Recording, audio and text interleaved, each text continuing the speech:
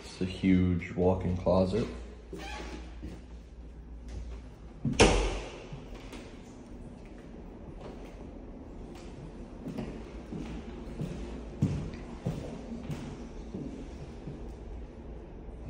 Big living room space. Very sunny in general. It has a sit-in kitchen.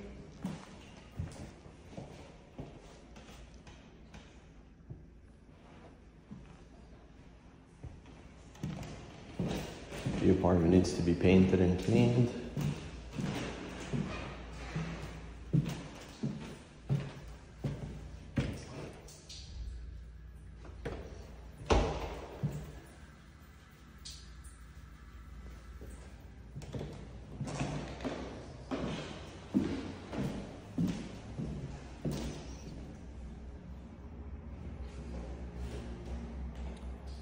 The bedroom is king size.